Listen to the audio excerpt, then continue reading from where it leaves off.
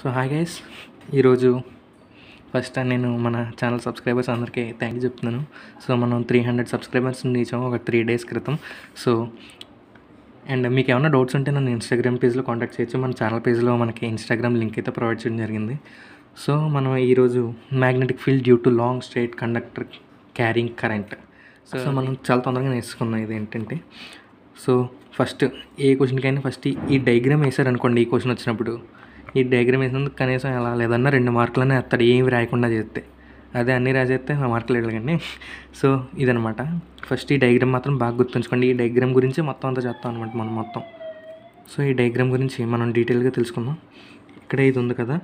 ఇదంతా ఒక కండక్టర్ అనమాట ఎలాంటి కండక్టర్ అంటే లాంగ్ కండక్టర్ ఇక్కడ డాట్స్ ఉన్నాయి కదా. ఈ డాట్స్ ఏంటంటే ఇన్ఫినిటీకి సింబల్ అనమాట ఇలా డాట్స్ పెట్టామంటే ఇన్ఫినిటీ వరకు వెళ్ళిపోతుందని ఈ వైర్ అంటే ఇది వై యాక్సిస్ సో ఇక్కడ వై అని నోట్ చేశాను కదా. సో ఇది ఎక్స్ యాక్సిస్ సో మనకు ఫస్ట్ ఎయిమ్ అనమాట మనకి ఎక్స్పెరిమెంట్లో మనం ఏం చేస్తున్నామంటే finding magnetic field due to long straight conductor carrying current so దీన్నే మనం ఒక ఫస్ట్ పాయింట్ కింద రాస్తాం అనమాట సో అలా రాసిన తర్వాత నెక్స్ట్ పాయింట్ కింద ఏం చేస్తాం అంటే ఈ డైగ్రామ్ గీస్తాం కదా. ఫ- ఫస్ట్ ఆ పాయింట్ రాసిన తర్వాత ఈ డైగ్రామ్ వేయండి. డైగ్రామ్ వేసి ఇంకా డైగ్రామ్ గురించి ఎలా పడితే అలా ఎక్స్ప్లెయిన్ చేసుకోవడం ఇంకా. సో అనగనగా ఒక వైర్ ఉంది. అది ఇక్కడ జీరో కదా అది వై యాక్సిస్ మీద ఉంది. వై యాక్సిస్లో ఆ వైర్ ఇన్ఫినిటీ వరకు వెళ్తుంది. పాజిటివ్ ఇన్ఫినిటీ నుంచి నెగిటివ్ ఇన్ఫినిటీ వరకు అది స్ట్రెచ్ అయి ఉంది. సో మనం ఎక్కడ ఫైండ్ అవుట్ చేస్తున్నాం? ఎక్స్ యాక్సిస్లో ఒక పాయింట్ ఉంది. ఆ పాయింట్కి మనం అక్కడ ఆ పాయింట్కి మనం ఫీల్డ్ మ్యాగ్నెటిక్ ఫీల్డ్ ఎంతో కనుక్కుంటున్నాం. సో ఆ పాయింట్ ఎంత డిస్టెన్స్లో ఉంది? ఆర్ డిస్టెన్స్లో ఉంది. సో నెక్స్ట్ అక్కడ నుంచి ఒక స్మాల్ ఎలిమెంట్ ఉందన్నమాట. డిఎల్ అనే ఒక ఎలిమెంట్ ఆ డిఎల్ అనే ఎలిమెంట్ ఆర్ బార్ డిస్టెన్స్ ఇది క్యాపిటల్ ఇది స్మాల్ ఆర్ డిస్టెన్స్లో ఉంది ఆ పాయింట్కి ఇదేమో ఆ స్మాల్ ఆర్ బార్ ఏమో ఆల్ఫా యాంగిల్ మేక్ చేస్తుంది. ఏ? నెక్స్ట్ ఇదేమో ఆ డిఎల్ అనే ఎలిమెంట్ ఎల్ డిస్టెన్స్లో ఉంది ఆరిజిన్ నుంచి. సో దీన్ని సింపుల్గా ఇంకా మీకు వచ్చిన వర్డ్స్లో ఎక్స్ప్లెయిన్ చేయడం కావాలంతే. అంతకు మించి ఏం లేదు. అలాగొక రెండు పేరాలు రాయండి చాలు. ఎవడు మార్కులు ఏంటో నేను చెప్తాను. సో అదే అనమాట ఫస్ట్ పేరా సెకండ్ పేరా ఎంత ఉంటే అంత.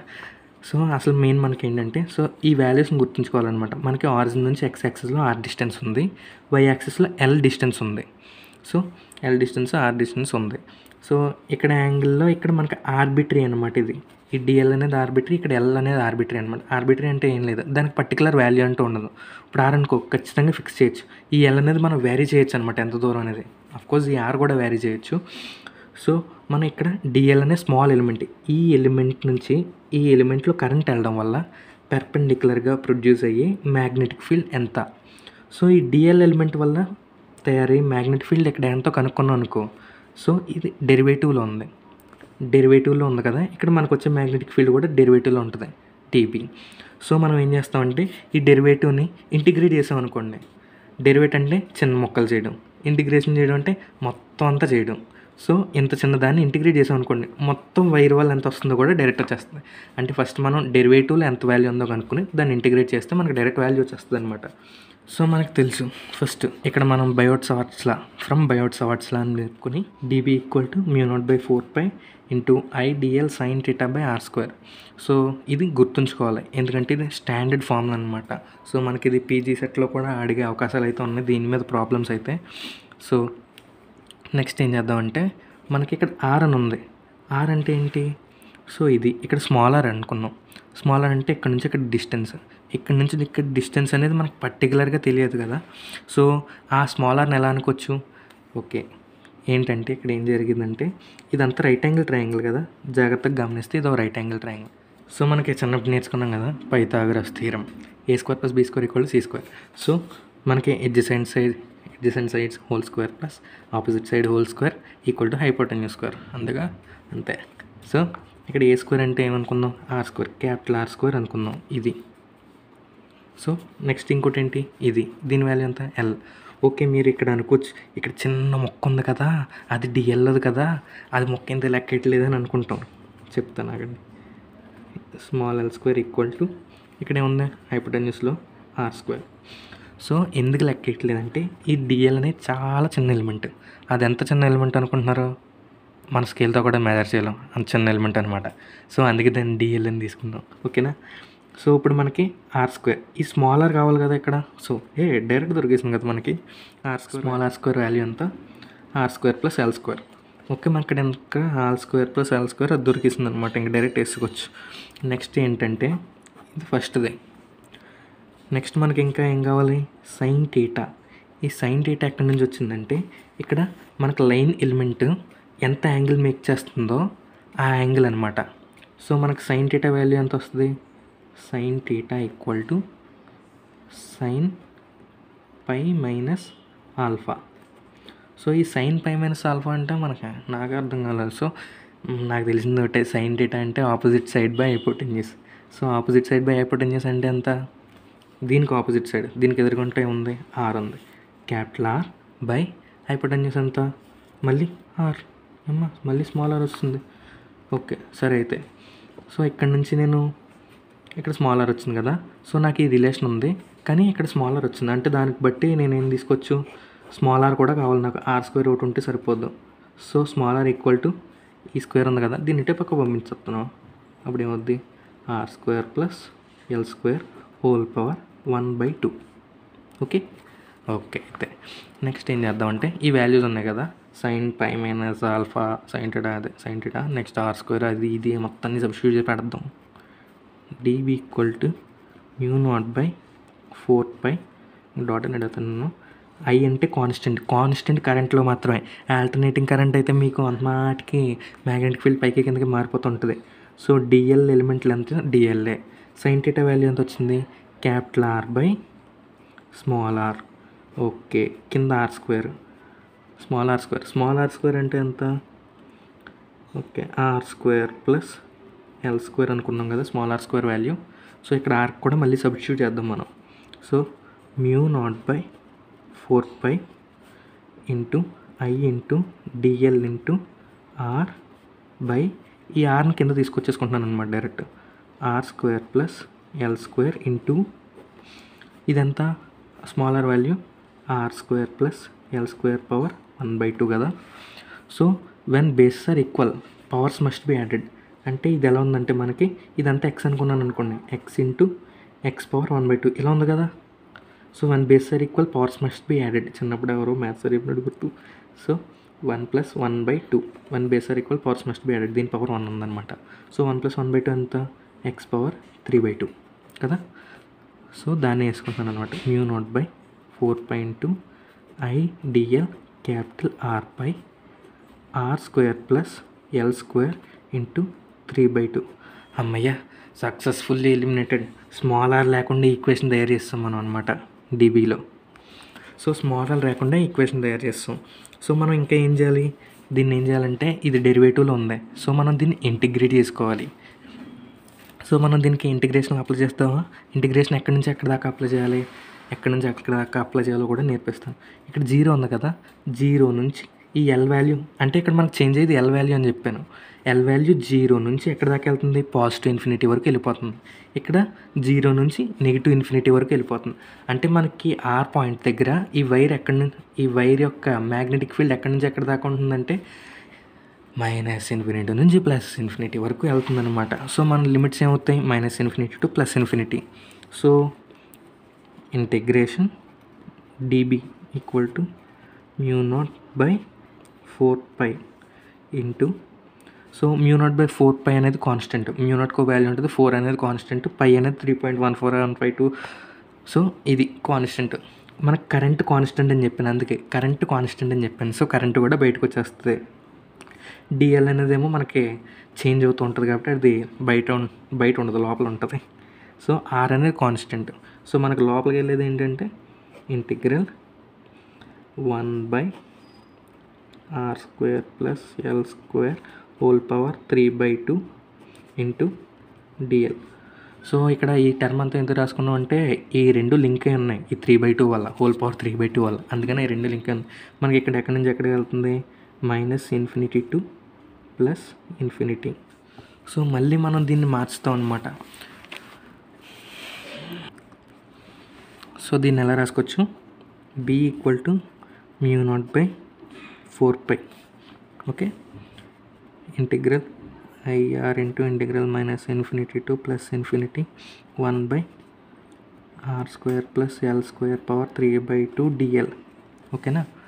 ఓకే నెక్స్ట్ ఏం చేద్దామంటే మనం నాకు ఈ ఇంటిగ్రేషన్లు గట్రా అంత రావు. సో ఇది నాకు చాలా కాంప్లికేటెడ్గా అనిపిస్తుంది. సో మనం దీన్ని ఈ ఇంటిగ్రేటెడ్ ఈ ఇంటిగ్రల్ని సింప్లిఫై చేసేసుకుందాం. ఏంటంటే మనకి ట్యాన్ ఆల్ఫా కనుక్కుందాం ఫస్ట్. ట్యాన్ ఆల్ఫా ఓకే సరదాగా ఇక్కడ R square plus L square ఇక్కడ ఏదన్నా రెండు స్క్వేర్లు ప్లస్ అవుతున్నాయంటే ఖచ్చితంగా అక్కడికి మనకి ట్యాన్ ఆల్ఫా మ్యాక్సిమం ఎప్పుడు చూసుకుంటే ఇంటిగ్రల్లో ట్యాన్ ఆల్ఫా ఖచ్చితంగా వస్తుంది. సో ట్యాన్ ఆల్ఫా ఎంత? చూద్దాం. ఓకే ఆల్ఫా ఇది. ట్యాన్ ఆల్ఫా అంటే ఏంటి? Opposite side by adjacent side అంటే L by R okay tan alpha equal to L by R కానీ మనకి ఇక్కడ కావాల్సిన ఏంటి? సింగిల్ ఆర్ ఉంది. ఇక్కడ ఆర్ స్క్వేర్ ఉంది. అంటే L equal to R tan alpha. So ఇది ఒకటి వచ్చింది. సో దీన్ని డెరివేట్ చేద్దాం. ఎందుకంటే మనకి డిఎల్ ఉంది ఎల్ ఉంది. ఈ రెండు అన్సర్టెన్ కదా మనకు తెలియదు. అంటే ఇన్ఫినిటీ వరకు వెళ్ళిపోతున్నాయి వీటి వల్ల. ఇన్ఫినిటీ వల్ల. సో మనం ఈ రెండాటికి ఎల్ ఒకటి డిఎల్ ఒకటి కనుక్కుంటాం. డిఎల్ అనేది డైరెక్ట్ రాసేయకూడదు మళ్ళీ డిఆర్ కింద. సో దీని డెరివేటివ్ చేస్తే ఏమవుతుంది? ఆర్ అనేది కాన్స్టెంట్ సో ఆర్ అనేది ఆర్ కింద ఉంటుంది. టెన్ ఆల్ఫాకి డెరివేటివ్ ఎంత? Secant square alpha. నెక్స్ట్ ఆల్ఫాకి డెరివేటివ్ డి ఆల్ఫా. గుర్తుంచుకోండి చాలామంది ఇక్కడ ఆల్ఫాకి డివైడ్ చేయడం మర్చిపోతారు. సో మనం ఈ వాల్యూస్ని సబ్స్టిట్యూట్ చేద్దాం అనమాట ఎల్ ప్లేస్లోనేమో ఇదిని డిఎల్ ప్లేస్లో ఇది సబ్స్టిట్యూట్ చేద్దాం. So B equal to mu naught by four by IR so ఇది ఇలాగే ఉంచేస్తున్నాను by R square plus L square అంటే ఎంత? దీని స్క్వేర్ చేస్తాం. ఎల్ స్క్వేర్ అంటే ఎంత అవుద్ది? అప్పుడు R square tan square alpha whole power ఎంత? Three by two three by two అలాగే ఉండిపోయింది. డిఎల్ ఎంత? R into secant square alpha D alpha. వచ్చింది కదా? సో మన నెక్స్ట్ స్టెప్. ఇది మన తక్షణ కర్తవ్యం. ఇప్పుడు ఆర్ ఇంటూ ఆర్ ఈ రెండింటికి మధ్యలో ఏంటి ఉంది కదా? I r square. Secant square alpha d alpha by దీంట్లో ఆర్ స్క్వేర్ కామన్ తీసేచ్చు అనుకుంటా కదా? ఆర్ స్క్వేర్ కామన్ తీసేస్తే మళ్ళీ ఆర్కి మళ్ళీ పవర్ త్రీ బై టూ వస్తుంది సో ఆర్ స్క్వేర్ కామన్ తీసేస్తే మళ్ళీ ఆర్కి power three by two so r square whole power three by two into one plus tan square alpha power three by two ఇక్కడ two two cancel అర్థమైంది కదా ఇక్కడ మొత్తం హోల్స్లో హోల్లో r square common తీస్తాను అనమాట బయటికి R square power three by two బయటకు common తీస్తాను. సో ఇక్కడ ఆర్ క్యూబ్ ఉంటుంది. ఇక్కడ టూ టూ క్యాన్సిల్ అయిపోతే ఆర్ క్యూబ్ మళ్ళీ ఈ ఆర్ క్యూబ్లోంచి పైన ఆర్ స్క్వేర్ ఉంది కదా ఇక్కడ ఇది ఇది క్యాన్సిల్ చేస్తే మనకి సింగిల్ ఆర్ ఒకటి మిగులుతుంది అనమాట సో ఇది కదా మనకి మిగిలింది. ఇందాక దాంట్లోంచి అది తీసేస్తే ఒకసారి మళ్ళీ మీరు జాగ్రత్తగా వినండి అర్థమవుతుంది. సో మనకి one plus tan square alpha మనకి ఇది డైరెక్ట్ ఉంటుంది అనమాట secant secant square alpha minus tan square alpha equal to one ఇది డైరెక్ట్ మనకి ట్రిగ్నోమెట్రీ రిజల్ట్ అనమాట సో ఈ టాన్ స్క్వేర్ ఆల్ఫాని అంటే పక్క పంపించాం అనుకోండి. Secant square alpha equal to one plus tan square alpha so ఈ వన్ ప్లస్ టాన్ స్క్వేర్ ఆల్ఫాని ఏమైనా సబ్స్టిట్యూట్ చేసుకోవచ్చు? B equal to mu naught by four pi into I into secant square alpha by ఏ ఇందాక ఇక్కడ R ఒకటి మిగిలింది కదా. So R into one plus tan square ఆల్ఫాని ఏం రాసుకోవచ్చు? Secant square alpha into D alpha మనకు B equal to mu naught by four pi I secant square alpha by R into secant square alpha power three by two ఈ three by టూని అస్సలు మర్చిపోకండి. ఇక్కడ square ఉంది ఇక్కడ బయట ఉంది. రెండు క్యాన్సిల్ అయిపోతాయి అన్నమాట. రెండు క్యాన్సిల్ అయిపోతే మనకి ఏం మిగులుతుందంటే mu naught by four by I into secant square alpha D alpha by R into secant ఇక్కడ టూ టూ క్యాన్సిల్ అయిపోయింది. ఎంత ఉంది? త్రీ ఒకటి మిగిలింది. Secant cube alpha so secant square ఈ క్యూబ్ క్యాన్సిల్ అయితే నీకు సీకెంట్ ఆల్ఫా ఒకటి మిగులుతుంది అనమాట so mu naught by four by I D alpha by R secant alpha A one by secant alpha అంటే దాని వాల్యూ ఎంత? ఓకే సారీ సారీ సారీ ఇందాక నేను చెప్పడం మర్చిపోయాను ఇక్కడ ఇంటిగ్రల్ చేయలేదు మనం. ఇది నోట్ చేసుకోండి. నేనే మర్చిపోతున్నాను. ఇంటిగ్రల్ చేయాలన్నమాట. ఇంటిగ్రల్స్ ఇందాక మనకి ఇన్ఫినిటీ నుంచి మైనస్ ఇన్ఫినిటీ నుంచి ప్లస్ ఇన్ఫినిటీ వరకు ఉన్నాయి కదా. సో ఈ మైనస్ ఇన్ఫినిటీ నుంచి ప్లస్ ఇన్ఫినిటీ వరకు ఉండేవి ఇక్కడ మనం చేంజెస్ చేసుకున్నాం కదా. ట్రాన్స్ఫర్మేషన్ చేసుకున్నాం. ఎల్నేమో ఆర్ టెన్ ఆల్ఫా కింద డిఎల్నేమో R secant square alpha D alpha కింద. ఇలా మనం ట్రాన్స్ఫర్మేషన్ చేసుకునేటప్పుడు మైనస్ పై బై టూ నుంచి ప్లస్ పై బై టూ వరకు వెళ్తుంది అనమాట ఇది. అంటే దీని లిమిట్స్ అనేవి మారుతాయి. Minus five by two to plus five by two. ఇది నేను ఇందాక చెప్పడం మర్చిపోయాను సారీ. సో ఇలా మారుతాయి అనమాట దీని limits. Minus infinity to plus infinity ఉండేది. మనకి లిమిట్స్ చేంజ్ చేసిన తర్వాత ప్రతిసారి మారుతాయి అనమాట ఇది. మనకి ఇంటర్లో కూడా వచ్చింది. సో నెక్స్ట్ మనం దానికి వెళ్ళిపోదాం. సారీ ఈ అన్నట్లకి ఇయ్యలేదు. So minus pi by two to plus pi by two. Minus pi by two to. So మనకి ఇక్కడ సీకెండ్ ఆల్ఫా కదా. సీకెండ్ ఆల్ఫాకి ఇన్వర్స్ ఏంటి? I into cos alpha cos alpha అంటే one by secant alpha equal to cos alpha అనమాట ఇది అందరికీ తెలిసి ఉంటుంది. అందుకని నేను దాని గురించి డీప్గా వెళ్ళట్లేదు. So into D alpha so mu naught by four by I అనేది కాన్స్టెంట్ ఆర్ అనేది constant I by R into cos ఆల్ఫాకి integration ఏంటి? Sine alpha okay sine alpha దీనికి లిమిట్స్ ఎక్కడి నుంచి? Minus pi by two to plus pi by two okay D alpha అంతే. Mu naught by four by I by R. Okay? దీనికి మనకి upper limit minus lower limit చేసుకుంటే one plus one. ఎందుకంటే sine minus five by two ఏమో minus one వస్తుంది ఇదేమో plus one వస్తుంది so రెండు ఓకే. రెండు ప్లస్ అయిపోతాయి. Mu naught I by four by R into two. Okay? Okay mu naught I by two pi R. B equal to so ఇదన్నమాట. Okay కిందకు వస్తున్నట్టుంది. సో ఇది ఈజీయే సో దీన్ని మనం WEBR weber per metre square or tesla అంటాం. Tesla one tesla equal to ten power five gauss అనుకుంటా. So ఇదనమాట మనకి. ఒక కరెంట్ క్యారింగ్ కండక్టర్ వల్ల ప్రొడ్యూస్ అయ్యే మ్యాగ్నెటిక్ ఫీల్డ్ అది కూడా ఆర్ డిస్టెన్స్లో అంటే ఇప్పుడు ఈ ఫామ్లో ఎందుకు అనుకోవచ్చు? సో ఇది ఒక వైర్ అనుకోండి. ఇది ఒక వైర్ అనుకోండి ఈ పెన్ను సో ఏదోలా ఇమాజిన్ చేసుకోండి మనకి అంత మించి ఎక్విప్మెంట్ ఏం లేదు. సో కరెక్ట్గా ఈ పాయింట్ అంటే నువ్వు ఫిజికల్గా ఏం మెజర్ చేయగలవు? ఇక్కడ నుంచి ఇక్కడ దాకా డిస్టెన్స్ మెజర్ చేయగలవు. సో మనకి ఫార్ములాస్ అనేవి అన్నీ ఎక్కువ మనకి రిలయబుల్గా ఉండాలన్నమాట. అంటే మనం ఈజీగా క్యాలిక్యులేట్ చేయడానికనే ఉండాలన్నమాట. సో ఈ వైర్ నుంచి కరెక్ట్గా ఇక్కడ నుంచి అనుకోండి కరెక్ట్గా నేను ఏదో స్కేల్ పెట్టుకొని మెజర్ చేసుకుంటాను సో కరెక్ట్గా ఈ పాయింట్ దగ్గర నాకు మ్యాగ్నెటిక్ ఫీల్డ్ ఎంత ఉన్నది అనేది క్యాలిక్యులేట్ చేయొచ్చు. కరెంట్ ఈ డైరెక్షన్లో వెళ్తున్నప్పుడు. సో కరెంట్ డైరెక్షన్స్ కూడా ఇంపార్టెంట్ అనమాట మనకి. అంటే మ్యాగ్నెటిక్ ఫీల్డ్ ఎలా ప్రొడ్యూస్ అవుతుంది మీకు రైట్ హ్యాండ్ ఫ్లేమింగ్ రూల్స్ కూడా తెలిసి ఉండాలి. సో అంటే ఇప్పుడు ఫిజికల్గా మెజర్ చేయొచ్చు కదా. ఇక్కడ వరకు ఇక్కడ నుంచి ఇక్కడ దాకా డిస్టెన్స్ ఆర్ అనుకున్నాను అనుకో. సేమ్ ఈ ఫార్ములా బి ఈక్వల్ టు అంటే నాకు కావాల్సిన magnet field equal to mu naught mu naught అంటే ఫోర్ ఇంటూ టెన్ పవర్ మై టెన్ పవర్ సెవెన్ అనుకుంటా. సో దీంట్లో వెళ్తున్న కరెంట్ మనం అది గ్యాలనోమీటర్లో కనుక్కోవచ్చు. So mu naught I by two pi pi అందరికీ తెలుసు కదా. సో ఆర్ అనేది మనం ఫిజికల్గా మెజర్ చేస్తాం. సో ఈ ఆర్ అనేది మెజర్ చేసినప్పుడు మనకి అది వెన్నీరు క్యాలిపర్ చూడడం అంటే కొంచెం ఎగ్జాక్ట్గా వస్తుంది అంతే. సో అంతే. ఇదే దీని ఫిజికల్ సిగ్నిఫికెన్స్ అంత మించి ఏం ఉండదు. So thank you once again sorry ఈ వీడియోలో కొంచెం డిస్టర్బెన్సెస్ ఎక్కువ ఉండొచ్చు. So once again thank you for all three hundred subscribers